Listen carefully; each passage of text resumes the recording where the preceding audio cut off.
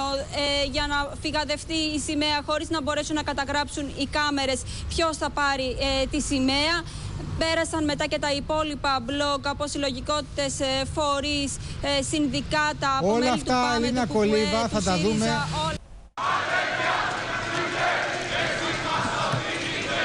Η αιματοβαμμένη σημαία της εξέγερσης του Πολυτεχνείου φτάνει στην Αμερικανική πρεσβεία λίγα λεπτά πριν τις 4.30 το απόγευμα. Οι φοιτητές που την κρατούν ψάλουν τον εθνικό ύμνο.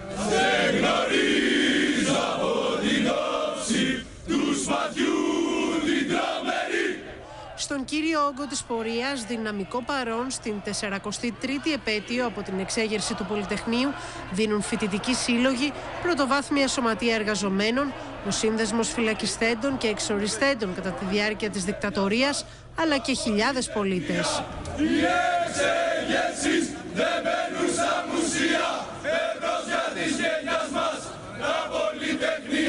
Άνθρωποι κάθε ηλικίας διαδηλώνουν ειρηνικά, θέλοντας να στείλουν το δικό τους μήνυμα ενάντια στο φασισμό. Σύμφωνα με τις εκτιμήσεις της αστυνομίας, οι διαδηλωτές που συμμετείχαν ξεπέρασαν τις 10.000.